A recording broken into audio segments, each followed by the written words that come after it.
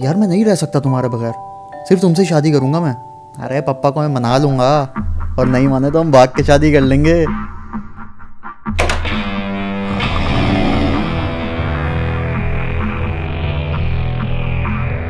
यार, बच्चा तो कोई पप्पा आ गए थे। अरे हाँ हाँ करता हूँ, रिश्ते की बात। क्या हो गया?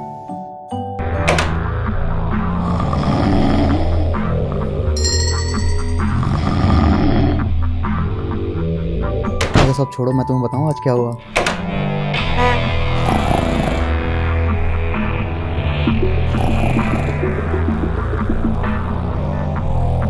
आज ना, मैं चाँद देख रहा था आसमान पे। चाँद मुझे नज़र ही नहीं आया। तुम्हारी शक्ल नज़र आई।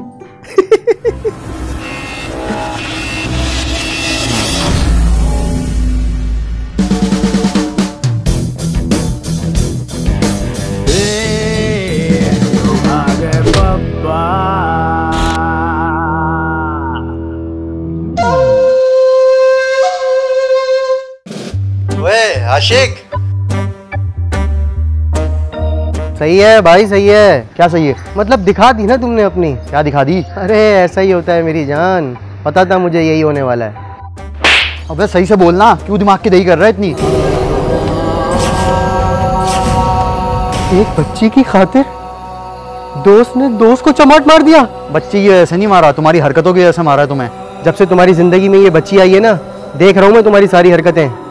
ना तुम मिलने आते हो ना कॉल करते हो और मैं कॉल करूँ तो काट देते हो। और हर वक्त नंबर बिज़ी औरत के चक्कर में बचपन के दोस्त को भुला दिया ना तूने। भाई ऐसा कुछ भी नहीं है। ऐसा ही है। बेटा बच्चियाँ हमारे पास भी बहुत आई हैं लेकिन हमने तुझे कभी नहीं कटाया। लेकिन जब से ये चुड़ैल आई है ना तू बचपन के दोस्त को भूल गया है। चुड़ैल किसको बोला बे? चुड़ैल नहीं है वो इज़्ज़त से बात कर मेरी होने वाली बीवी और तेरी भाभी है। और मार और मार मुझे तू।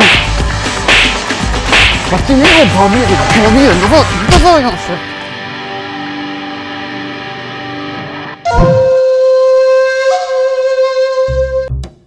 अस्सलाम वालेकुम अंकल। ओहो वालेकुम अस्सलाम। हम्माद कहाँ है? कॉल भी नहीं उठा रहा।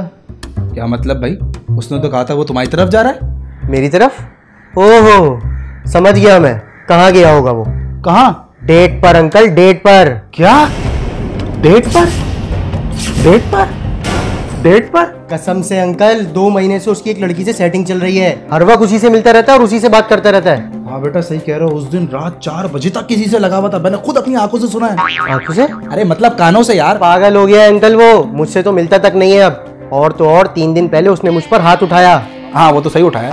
अब सोचें बचपन के दोस्त पर हाथ उठा सकता है तो बाप के साथ क्या क्या करेगा? आने दो उसको आज। हाँ अंकल आज आए ना तो सही से क्लास लेनी है उसकी। क्लास? अरे कह के ले लूँगा उसकी टेंशन नहीं लो। आने दो उसको आज। ये चीज़ चाहिए अंकल। आज वो आएगा और फिर नहीं जाएगा। लेकिन बस इतना मारिएगा कि हाथ पाँव ना टूटे। आने दो बस। सही से आने दो उसको आज। हाँ हाँ ठीक है ठीक है। आज वो आएगा फिर नहीं जाएगा हाँ सही है अंकल सही है। आने दो। सही है। आने दो। सही है। हमाद बेटा इधर आओ। जी पापा बोले। बेटा कहाँ गए थे आप? पापा बताया था आपको फैसल के पास गया था। अच्छा फैसल के पास। जी पापा। फैसल? पापा ये वाला फैसल नहीं मेरा कॉलेज का एक दोस्त है उसका नाम भी फैसल है। कॉलेज का दोस्त। जी जी। कॉलेज वाले फैसल? अस्सलाम वालेकुम अंकल। अरे वो पापा मेरे कॉलेज में दो दोस्त है दोनों का नाम फैसल। अब तो सच बोल दे भूसी टुकड़े वाले। सॉरी पापा असल में मैं असल में आप एक लड़की के साथ थे डेट पर। डेट पर नहीं पापा मिलने गया था। अरे बस बस। हमें बता रहा है मिलने गया था। जैसे हमने कभी डेट मारी नहीं है।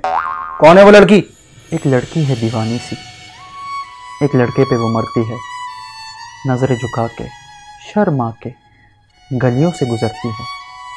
चोरी चोरी चुपके चुपके मैसेज किया करती है। कुछ कहना है शायद उसको। जाने किससे डरती है? जब भी मिलती है मुझसे। मुझसे पूछा करती है, पप्पा कैसे मानेंगे? ये पप्पा कैसे मानेंगे? देखा अंकल देखा? मैंने कहा था ना अब मारे इसको। हाँ बेटा रुको तो सही दो मिनट। तो बेटा फिर कब मिलवा रहे हो अपनी पसंद से हमें? अंकल ये क्या? हमने प्लान किया था ना? चुप है। ये हमारे घर और बाप और बेटे के बीच का मामला है समझ में आई? दफ़ा यहाँ से। आ गया शॉपर डबल कराने बस। थैंक यू पप्पा थैंक यू सो मच मैं आज शाम को ही मिलवाता हूँ आपसे। ठीक है? थैंक यू पप्पा थैंक यू पप्पा पानी लाऊं? पप्पा अरे ये खुशी की खासियत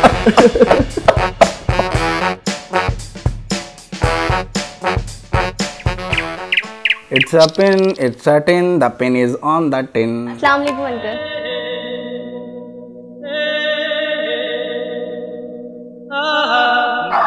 वालेकुम सलाम भाई खड़े क्यों हैं? बैठे बैठे बैठे। तो भाई कैसी हैं आप? जी ठीक है अंकल आप कैसे हैं? मैं तो A one first class tip top वैसे हमाद ने काफ़ी तारीफ़ की आपकी बहुत कुछ बताया आपके बारे में। लेकिन एक बात बताना भूल गया शायद। क्या पप्पा यही कि असल में ज़्यादा प्यारी और खूबसूरत है।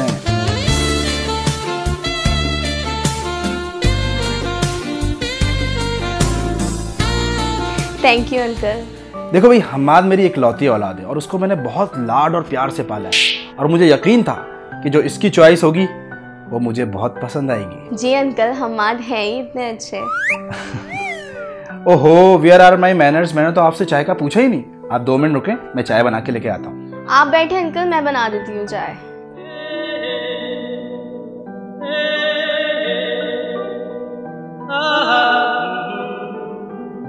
बेटा खाली चाय अच्छी नहीं लगेगी। एक काम करो बिस्किट वगैरह लेके आ जाओ जल्दी करो। बिस्किट्स पड़े तो हैं घर में। अरे वो तो चूहे खा गए ना। जल्दी करो आ जाएगी फिर वो।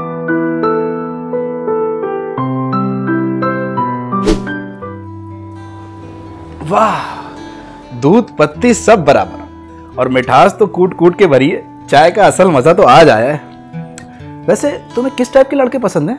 अंकल जैसे हमाद हैं। नहीं मतलब अगर कोई हैंडसम हो चश्मा लगाता हो ब्लू कुर्ता पहना हो लाइफ का एक्सपीरियंस हो बच्चे पालने में मास्टर हो हैं हैं? तुम समझ रही हो ना मैं क्या कह रहा हूँ? अरे अंकल आजकल ऐसे लड़के कहाँ मिलते हैं? देखो भाई जब तक हमारे बीच में अंकल अंकल चलता रहेगा ना बात आगे नहीं बढ़ेगी। हम माद और मैं दोस्तों की तरह रहते हैं। और जब तुम हमारे घर में आ जाओगी तो तुम भी हमारी दोस्त बन जाओगी। तुम ना मुझे शमसू कहा करो। शमसू। ठीक है अंकल। फिर अंकल शमसू। ठीक है शमसू।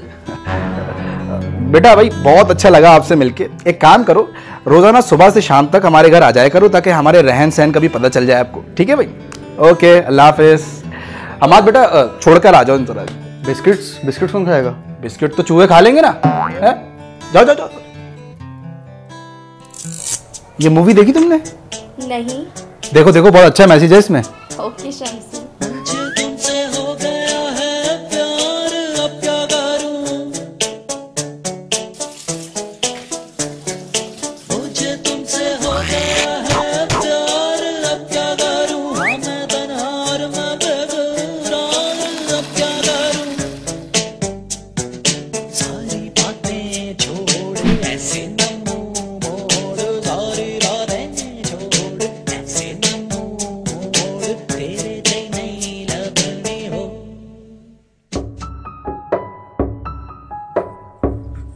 क्या हो गया भाई? शक्ल बना के क्यों बैठी हो? हमाद मैं आपको लाइक करती हूँ इसीलिए रोज़ आती हूँ घर के काम करती हूँ अंकल का ख्याल रखती हूँ। वो अजीब अजीब मज़ाक करते हैं उसको भी मैं हंसकर टाल देती हूँ। लेकिन आज जो उन्होंने हरकत की ना उफ मुझसे बोला भी नहीं जा रहा। क्या मतलब? क्या किया पापा ने? बोलो बताओ मुझे क्या करा पापा ने? मुझसे नहीं बताया जा रहा। बोला नहीं जा रहा तो मैसेज करके बता दो। हाँ लिखो।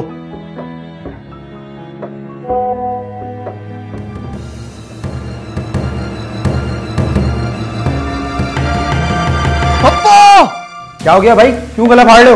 पप्पा आपको शर्म आनी चाहिए। आपने आज क्या हरकत की है नादिया के साथ? मुझे अफसोस है कि मैं आपका बेटा हूँ। मैं नहीं रहूँगा अब यहाँ आज ही भाग के शादी करूँगा। अबे ओ तमीज से बात कर। ऐसा भी क्या कर दिया मैंने बस पप्पा बस।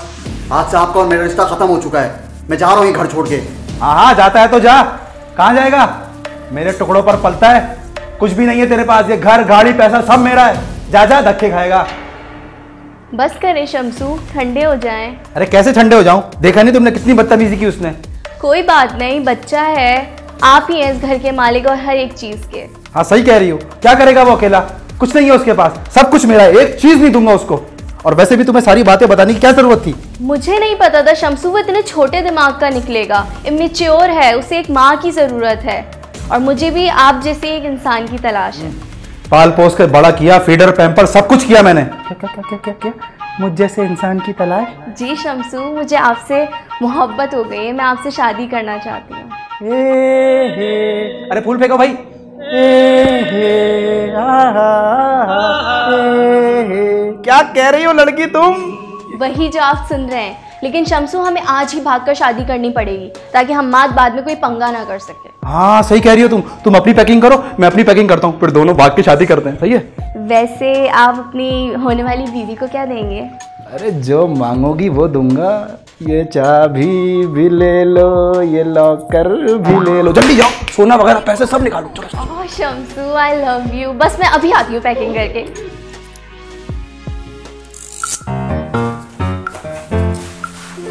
ये ले शमसू, दूध पी लें, ख्याल रखा करें अपना, और लाइए मैं कर दूँ मैं दुनिया से चला जाऊँ, कभी ना लौट के आऊँ।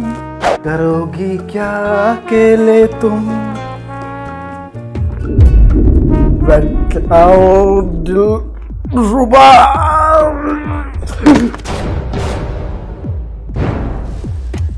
हमाद अच्छा हुआ, आप आ गए। मैंने पापा को बेहोश कर दिया। आप भी बस जल्दी से पैकिंग कर लें, हम आज ही भाग के शादी कर लेंगे।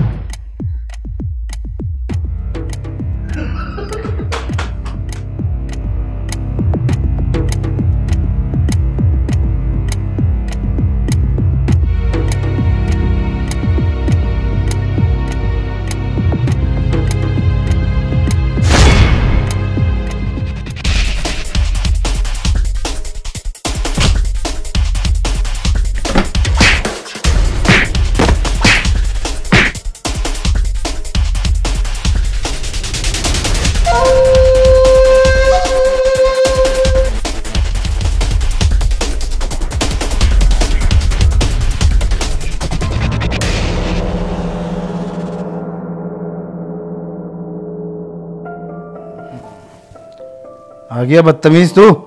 नादिया किधर है? चली गई। क्या मतलब चली गई? मतलब ये कि आपको बेहोश करके सब पैसा सोना लूट कर मुझे मार लगवा कर गाड़ी लेकर भाग गई है वो। मुझे तो पहले ही मालूम था कि वो एक नंबर की चोर और धोखेबाज लड़की है। लेकिन मैंने तुम्हें सबक सिखाने के लिए सब ड्रामा किया था। अच्छा अगर ये बात है तो फिर आपने उसके साथ हरकत क्यों की थी? अबे क्या पागल आगल आगल हो गया क्या? ऐसी हरकत में सोच भी नहीं सकता। मैंने तो सिर्फ़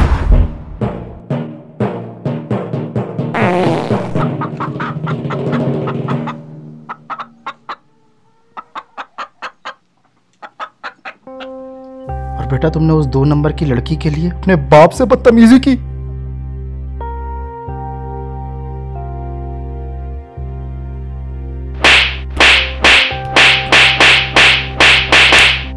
जाओ जाके मेरे लिए नाश्ता बनाओ। Get lost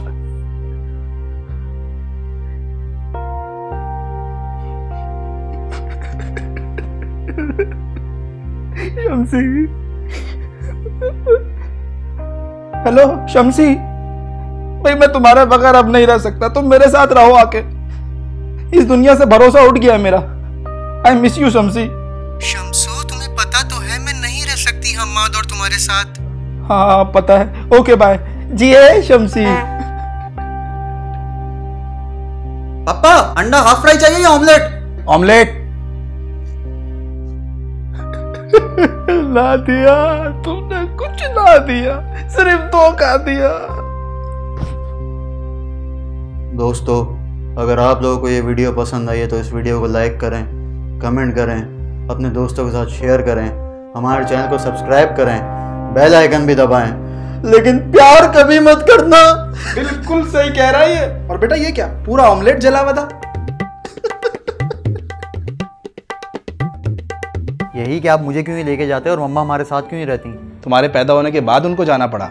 बेटा मैं तुम्हें तुम्हारे नाना से मिलवाती हूँ आज। ज़ाहिर सी बात है अब जो बेटी का घर है उसके शौहर का होता है।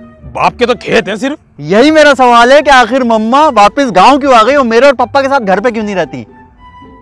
जय